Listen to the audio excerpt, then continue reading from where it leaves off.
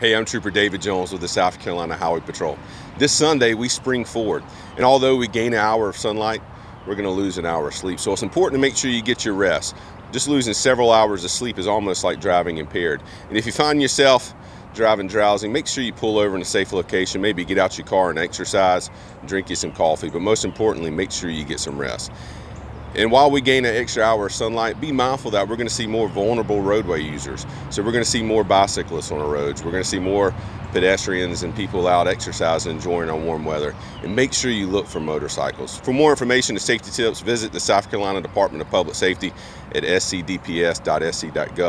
And let's all spring forward with safety in mind.